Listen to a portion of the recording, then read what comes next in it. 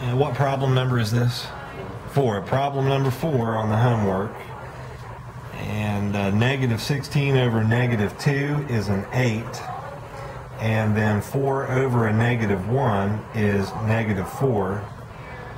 And negative 12 over negative 3 is a positive 4. So the positive 8 and then plus negative 4 times 4 is negative 16. So that should that should be negative 8.